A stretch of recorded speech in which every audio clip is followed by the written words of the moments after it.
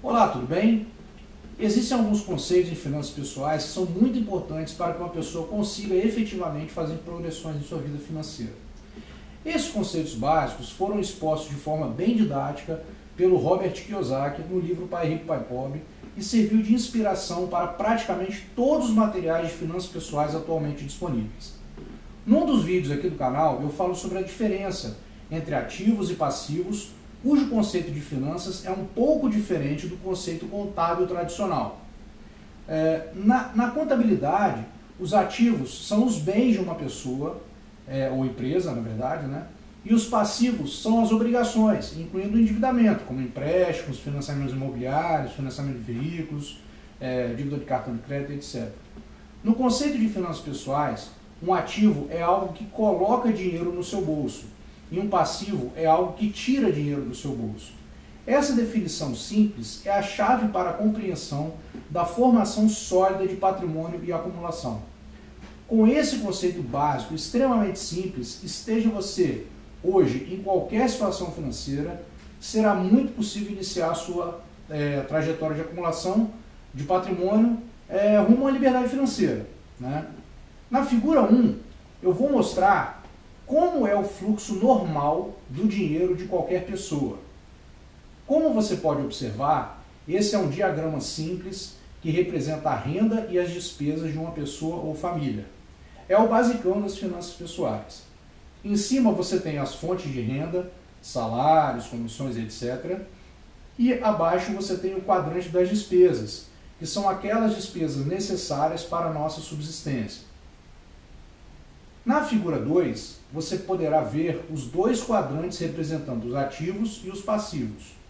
A partir de agora, vamos entender como a figura 1 e a figura 2 se relacionam e como nossas decisões e desejos podem ser fatais no que se refere à nossa capacidade de acumular patrimônio.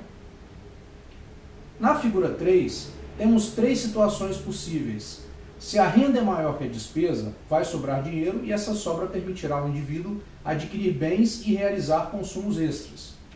Se a renda for igual à despesa, não há sobras para adquirir bens e a vida financeira da pessoa não vai evoluir.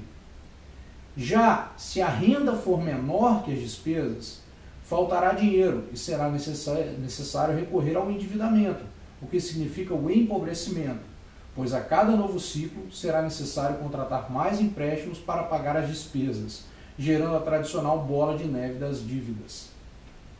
Por isso, o primeiro passo essencial para todo o resto é o trabalho dirigente para a obtenção da alternativa 1, que é manter despesas abaixo da renda. Até aqui, eu não estou falando nenhuma novidade. É tudo óbvio, todo mundo já está careca de saber. Porém, a partir de agora, eu vou mostrar como, mesmo com uma renda maior que as despesas, muitas pessoas podem tomar decisões financeiras caóticas e não alcançar a independência financeira. Na figura 4, vamos criar uma situação onde uma pessoa possui uma renda mensal de 10 mil reais e despesas mensais de 5 mil reais. Nesse caso, essa pessoa possui a capacidade de acumular 5 mil reais por mês. E ela opta por fazer isso em aplicações financeiras. Essas aplicações financeiras, por sua vez, geram uma rentabilidade periódica, o que faz com que a renda dessa pessoa também suba, uma vez que será constituído tanto da renda do trabalho como de uma pequena parcela que corresponde à rentabilidade mensal dos seus investimentos. Assim, embora o seu salário continue sendo de 10 mil e as despesas de 5 mil, a capacidade de acumular patrimônio não será apenas de 5 mil, pois terá, além dos 5 mil, a própria rentabilidade gerada pelos seus investimentos. Ou seja, o patrimônio poderá crescer ainda um pouco mais rápido. Na figura 5, nós podemos observar que aquela pessoa manteve aquela conduta de guardar dinheiro mensalmente e assim fazer o seu patrimônio, fazer crescer o seu patrimônio. Com isso, suas aplicações financeiras aumentaram e, considerando a rentabilidade de todos os seus investimentos, também a sua renda mensal aumentou. Agora a renda dessa pessoa é formada em parte pela renda do seu trabalho e um pouquinho pela renda dos seus investimentos, o que continuará permitindo com que ela continue aumentando gradativamente a renda não proveniente do trabalho. E o seu patrimônio vai se acumulando. Porém, na figura 6, essa pessoa tem uma ideia. Como ela mora longe do litoral e ela gosta muito de ir à praia, ela resolve então que é chegado o momento de comprar uma casa ou um apartamento na praia. E aí ela verifica que o imóvel que ela que atenderia a necessidade dela custa 300 mil reais, sendo que ela pode dar 100 mil de entrada e financiar o restante em parcelas de 3 mil reais. Vamos ver o que acontece. Ao tomar essa decisão, o panorama financeiro se modifica, conforme a figura 7 ela pega todo o recurso que tinha guardado e dá entrada no imóvel e financia o restante. Mas quais serão os impactos financeiros?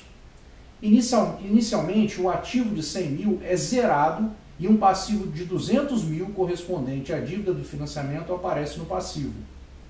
A parcela do apartamento entra no quadrante das despesas, junto com as despesas de manutenção do imóvel, como condomínio e PTU, por exemplo.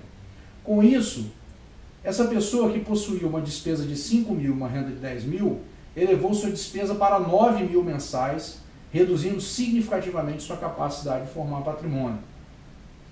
Repare que o imóvel de praia possui características de passivo no conceito de finanças pessoais, embora seja um ativo no conceito contábil, pois ele mensalmente existe um gasto adicional, ele exige um gasto adicional do proprietário.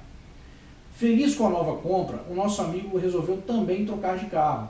Vendeu seu carro atual por 50 mil e comprou um novo por 80 mil, gerando um novo financiamento de 20 mil reais, aumentando o seu passivo e uma despesa adicional de mais mil reais, comprometendo totalmente a sua capacidade mensal de acumular patrimônio. Nesse momento, embora nosso amigo possua uma casa na praia e um belo carro, Repare que ao observar sua situação financeira, sua capacidade de crescimento financeiro acabou. Além de que agora ele possui uma dependência total do emprego que possui e se quiser voltar a realizar novos sonhos de consumo, precisará procurar um segundo trabalho ou tentar aumentar o seu salário atual. Sem isso, ele fatalmente estará estrangulado financeiramente enquanto os financiamentos não acabarem. Veja como a sua renda também diminuiu, já que antes ele tinha a rentabilidade dos, um pouquinho da rentabilidade dos investimentos que compunham essa renda. E veja como sua despesa aumentou, assim como seu passivo. Sua coluna de ativos foi totalmente zerada. Nesse momento, podemos ver como há diferença na compreensão entre os conceitos contábeis e de finanças pessoais e na definição de ativo e passivo. Podemos observar também como as decisões financeiras produziram um resultado muito diferente. Uma vez que observamos os impactos financeiros de dois tipos de decisão financeira, vamos entender então, na figura 9, como é o ciclo ideal de formação e de crescimento do patrimônio. Primeiro, manter as despesas abaixo das receitas permite o crescimento e acumulação do patrimônio frequentemente. Segundo, ao usar o excesso para formar patrimônio em ativos no conceito de finanças, o indivíduo possui a possibilidade de gerar uma renda adicional que é criada pelos ativos que ele, que ele passa a, a ter. Terceiro, a renda proveniente dos ativos gera mais renda mensal, gerando maior capacidade mensal de acúmulo de ativos, que gera maior capacidade de aumento da renda mensal e assim sucessivamente num ciclo virtuoso de finanças pessoais. Quarto, a capacidade cada vez maior de acumulação de patrimônio, menor dependência do emprego e formação de renda não proveniente do trabalho. Na nossa última figura, eu vou mostrar uma situação onde o indivíduo pode conquistar a sua independência financeira totalmente. Na medida em que os ativos vão gerando renda e chegam no ponto onde a geração de renda proveniente somente deles é suficiente para a subsistência, o indivíduo não depende mais do trabalho para obter renda. E assim alcança a independência financeira, já que a sua renda é totalmente proveniente não do seu trabalho, mas dos ativos que adquiriu ao longo da vida. Nesse momento, o indivíduo continuará acumulando patrimônio, já que suas despesas continuarão menores que sua renda, seu patrimônio continuará crescendo, assim como sua renda.